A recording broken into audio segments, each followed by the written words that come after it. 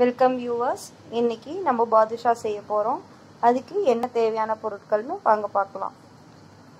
மைதா மாவு ஒரு கப் ஒரு கப் சர்க்கரை பால் தேவையான அளவுக்கு தயிர் கொஞ்சமாக அப்புறம் ரெண்டு ஸ்பூன் வெண்ணெய் ஏலக்காய் தூள் அப்புறம் உப்பு.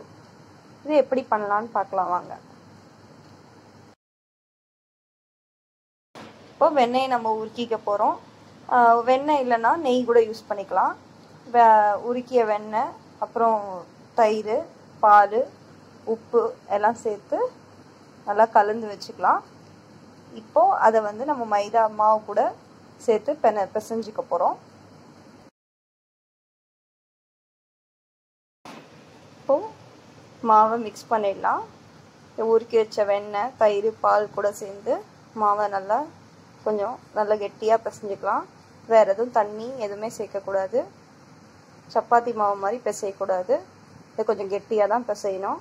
அப்போ தான் அது உள்ளுக்குள்ளே லேயராக வரும். அழகாக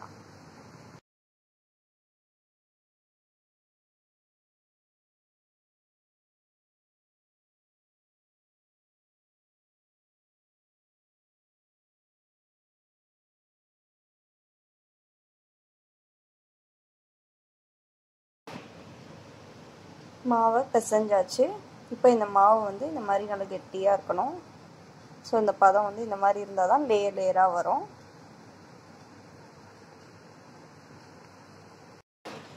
இப்போ இதை ஒரு துணி போட்டு மூடி வச்சிடலாம். இப்போ ஜீரா ரெடி பண்ணிடலாம். இப்போ அதுக்கு ஒரு பேன் எடுத்து ஒரு சர்க்கரை போட்டுக்கிறோம் ஒரு கப்பு அதுக்கப்புறம் தண்ணி விட்டுக்கணும் அதே ஒரு கப்பில்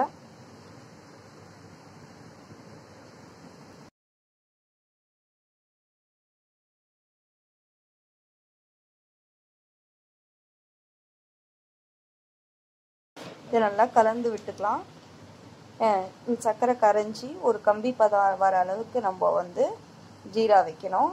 அதுக்கு முன்னாடி நம்ம கொஞ்சம் ஏலக்காய் பொடி ஆட் பண்ணிடலாம். ஜீரா வந்து ஒரு கம்பி பதம் வந்துடுச்சான்னு டெஸ்ட் பண்ணிடுவோம். அதுக்கும் மேலே போச்சுன்னா இனிப்பு வந்து இதில் சேராது பாதுஷால் சேராது. அதனால் ரொம்ப கேர்ஃபுல்லாக டெஸ்ட் பண்ணுறோம் வந்துருச்சு நமக்கு ஆஃப் பண்ணிடலாம். இப்போ மாவை உருட்டி வச்சுருக்கோம். அதுக்கப்புறம் அதை தட்டி ஒரு ஓட்டை போட்டுக்கலாம். கொஞ்சம் பார்க்கறதுக்கு ரஃப்பாக இருக்கிற மாதிரி தான் இருக்கும். ஆனால் இது இனிப்பு சேர்ந்தோடனே சாஃப்டாகிடும் அது.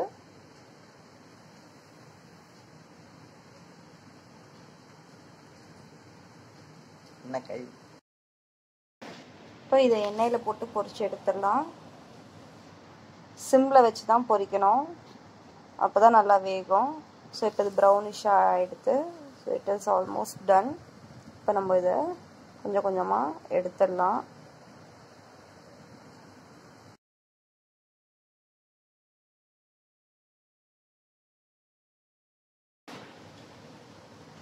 இது நல்லா பொன்னிறமாக வந்துருச்சு. இப்போது இதை வந்து ஜீராவில் போட்டுடலாம். ஜீராவில் போட்டாச்சு. இது ட்ரை நீங்களும் ட்ரை பண்ணி பாருங்கள் பிடிச்சிருந்தா லைக் பண்ணுங்கள் ஷேர் பண்ணுங்கள் கமெண்ட் பண்ணுங்கள்